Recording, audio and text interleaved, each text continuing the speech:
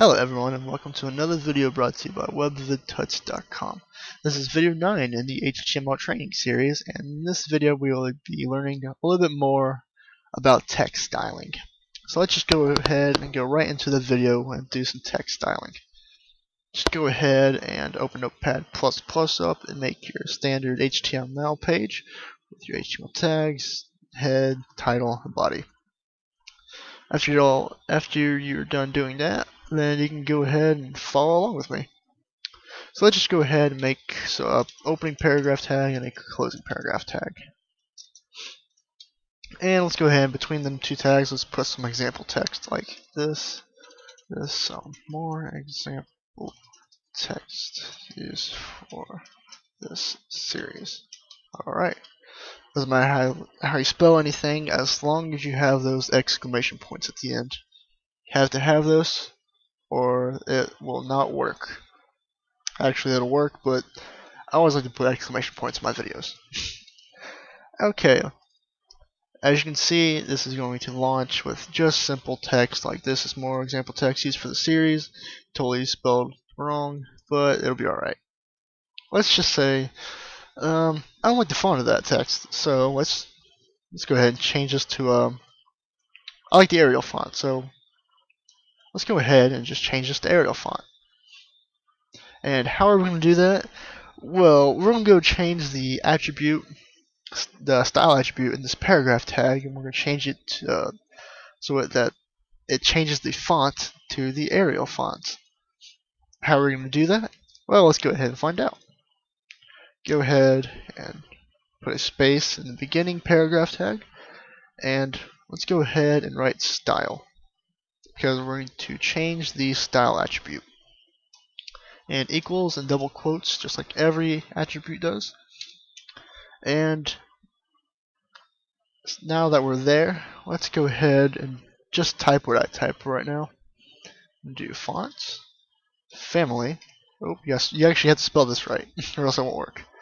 And now, since we're going to put a value after font family, we have to put a colon, which means like, hey, we're going to put our value in now for this property. Go ahead and put a space, and I like the Arial text, so let's go ahead and change the font family to Arial.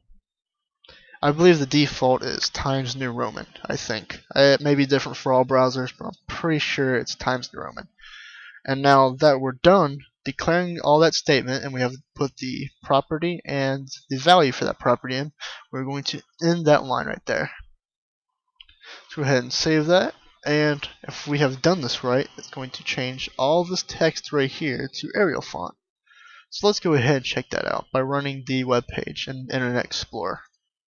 And bam, it changed that all of that text to the Arial font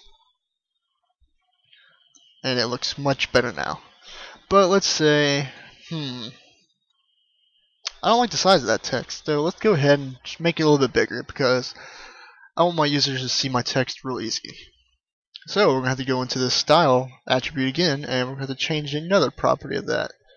Um, right after this line, since we ended the line right here, we can go ahead and start coding another property of the style tag, or the style attribute I meant. Uh, just go ahead and type what I type. Go font size. And since we're done um, declaring that property, we're going to put a value into it. So put that, since we're going to make it a different value, and we're going to make it 13 pixels. And then we're done with that statement, so let's go ahead and put a semicolon right there. And what this is going to do is just change the font size of all the text inside this paragraph tag to size 13. And now let's go ahead and see what that looks like. And bam, made the text smaller. Which the default must have been bigger because it just went smaller. But let's say I want it much bigger than that. You can go ahead and change that value to, let's go ahead 26. And let's go ahead and run that. And now we have some really big text since we changed the font size of the text to 26. Um, let's go ahead and make the color of this text different. as you've seen from the other video, we can go color, and we'll change the color to, we'll change it to blue, like blue. And then since we're done with that statement, put another semicolon right there. Doesn't matter if it's spaced right here or not, but I usually just like to space it out just so I can see it a little bit better. And then if this should work, this should make all this text in right here blue since we're changing the style attribute of this paragraph tag right here. Let's go ahead and launch this in Internet Explorer and bam, all the text is blue because we changed the uh, color property of the style attribute to blue.